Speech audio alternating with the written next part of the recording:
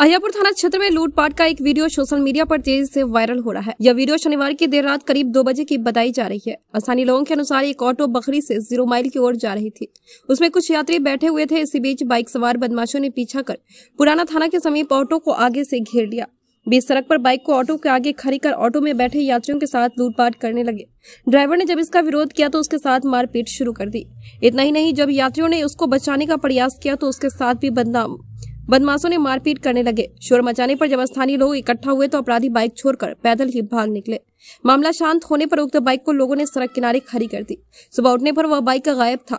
उस पूरी वारदात एक दुकान में लगे सीसीटीवी कैमरे में कैद हो गई। स्थानीय लोगों का कहना है कि अहियापुर पुलिस के सुस्त रवैये से इस इलाके में लूटपाट व छिनतई की घटना आए दिन बढ़ती जा रही है, लेकिन पुलिस बदमाशों पर नकेल कसने में विफल साबित हो रही है।